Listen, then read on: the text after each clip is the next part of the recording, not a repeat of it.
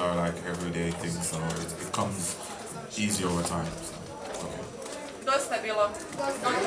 Um, ovdje na, Ja- na Jamajci nije toliko loše kao ovdje, odnosno rekao je preko oceana u drugim zemljama je zapravo puno uh, luđe jer u Jamajci ga vide cijelo vrijeme. Um, a što se tiče fotografija, odnosno autograma, s fotografijama je puno teže zato što to duže traje.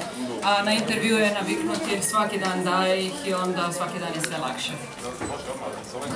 Toliko na presici, poštovani kolege, žao nam je zbog protokola, ne možemo više se zadržavati. Hvala vam lijepa na pozornosti.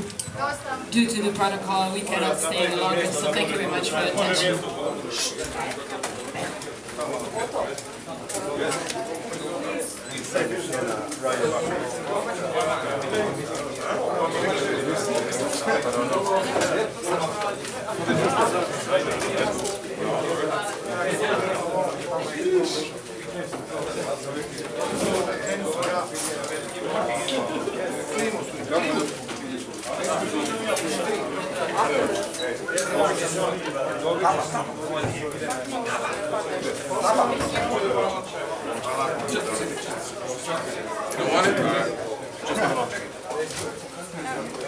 Just a little.